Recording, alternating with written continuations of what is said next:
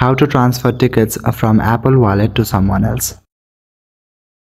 Transferring tickets from Apple Wallet to someone else involves using the share feature within the Apple Wallet app. Launch the Apple Wallet app on your iPhone. Then you need to find and tap on the ticket you want to transfer. Then in the top right corner of the ticket, there will be three dots or an eye symbol. Tap on this to see more options.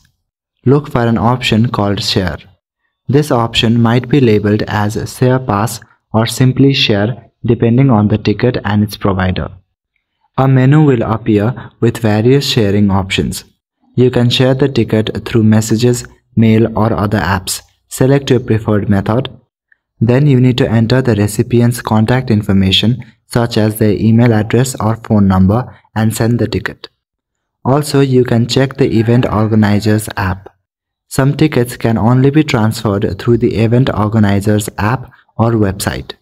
For instance, some sporting events or concerts might require you to transfer tickets through the specific ticketing app. Log in to the events organizer's app or website, find the ticket and look for an option called transfer or share. Follow the instruction to send the ticket to the recipient. So I hope this video was helpful to you and that is it for this video. I will see you in the next one. Thank you.